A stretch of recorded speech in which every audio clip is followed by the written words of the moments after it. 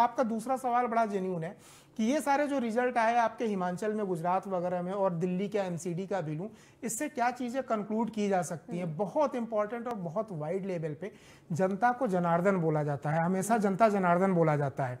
जनता इतनी बुद्धिमान है जनता या भगवान बोलिए जिसको जो मिलना चाहिए जो जितना योग्य है उसी को मिलेगा। उतना ही देता है। अब सबसे पहले मैं आपको बताता हाँ, हूँ जनता यानी जनार्दन ने दिल्ली एमसीडी इलेक्शन में क्या किया? केजरीवाल जी आपका निशान झाड़ू है।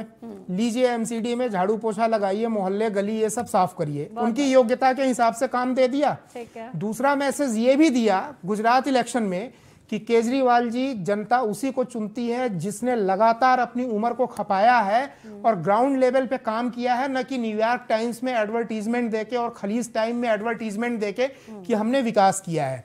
गुजरात की जनता ने एक बहुत ज़बरदस्त चोट किया हुआ है एक आइडियोलॉजी पे। फ्री बीज गुजरात की जनता ने ये बता दिया कि हमें तुम्हारी फ्री की चीज़ें नहीं चाहिए। अरविंद केजरीवाल के जितने मुद्दे थे फ्री वाले हमें हम स्वावलंबी है हर भारतवंशी स्वावलंबी है और हमें लालच दे करके तुम भारत की पॉलिटिक्स को बदलने की कोशिश मत करो। साफ़ कर दिया। केजरीवाल जी की जितनी आइडियोलॉजी थी खलीज टाइम ये सब और फ्री बीज लालच दे करके पाँच रुपए पे आप बे, बेचने के लिए चल रहे हैं। एक तरफ़ तो केजरीवाल बोलते हैं कि एक गुजराती है अडानी वो पूरा देश खरीदे जा रहा है। और आप वहाँ जाके पाँच रुपए का फ्री बीज दे करके टिकट खरीदने की कोशिश कर रहे हैं। इसके साथ साथ गुजरात की जनता ने यह भी बताया कि केजरीवाल जी आप एमसीडी के लिए इलिजिबल हैं। प्रधानमंत्री जिन्होंने 26 साल 27 साल जितना इनकी राजनीतिक कैरियर केजरीवाल जी का दस साल की हुई साल दस साल अभी दस हाँ। साल की हुई है और उनका प्रधानमंत्री जी का कैरियर ही देखेंगे तो 30 35 साल 40 साल का है। तो केजरीवाल जी आप प्रधानमंत्री के जूते में अपना पैर डाल करके ये प्रोजेक्ट मत करो कि भारत के अगले प्रधानमंत्री हम हैं।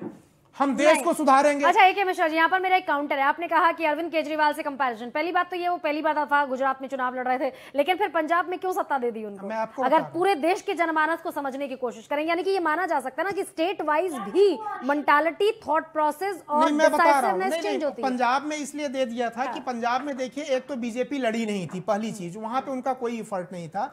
और उसके बाद कांग्रेस वहाँ पे टूट चुकी थी। उनके जो भूतपूर्व मुख्यमंत्री थे तो अपोजिशन ही नहीं था। वहाँ या तो कांग्रेस से आई है ऐसे में जनता ने एक बेहतर और मज़बूत आदमी को चुना के, देखिए केजरीवाल को जितने भी सफलता मिली है ना वो भाग्य भरोसे या ट्रायल एंड इरर बेसिस पे। अच्छा। गुजरात की जनता ने यह भी बता दिया हाँ। कि हम हर बार या तुम्हारे किसी के बहकावे में आके हम ट्रायल नहीं करेंगे की कि जी हम इस आदमी को चुन लेते हैं जो खरा है जो परखा हुआ है हम उसको चुनेंगे। हिमाचल? हाँ मैं हिमाचल का बताता हूँ। हिमाचल के लिए एक सीधे शब्दों में बोला जाए स्पेशली बीजेपी के लिए मैसेज है कि सावधानी हटी दुर्घटना घटी। क्या बात अगर सावधानी हटी दुर्घटना घटी। क्या बात अगर आप ये सोचते हैं। कि हाँ जी एक आदमी है प्रधानमंत्री है और नीचे के लोग वहाँ पे एकदम लापरवाह हो जाएँ तो ये चीज़ हिमाचल से उससे वहाँ पे जाकर के ये कंक्लूजन निकलता है कि कोई भी इलेक्शन हो नीचे से लेके ऊपर तक सबको लगना पड़ेगा। सबको लगना पड़ेगा। डॉक्टर सबको लगना पड़ेगा। हाँ,